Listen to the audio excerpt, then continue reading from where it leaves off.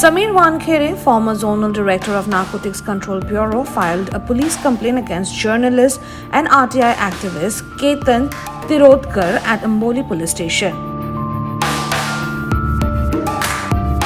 Wankhede accused Ketan of disseminating false and defamatory interviews in connection with 2021 drugs on cruise case involving Shah Rukh Khan's son Aryan Khan.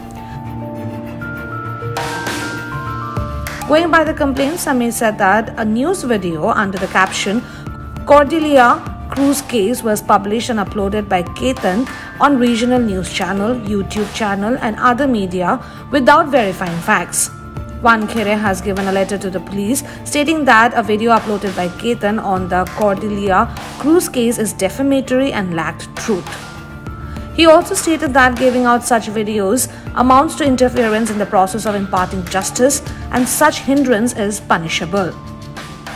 It also caused him mental harassment and Sami requested urgent intervention in the matter.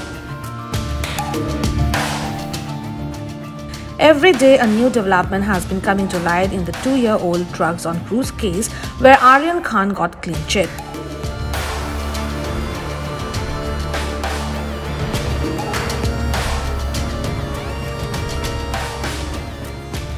To give some background, CBI has been investigating a case of corruption and extortion against one Wankhede, Ashish Gosavi and two others for allegedly collecting 50 lakh of the total demand of 25 crore from Shah Rukh Khan.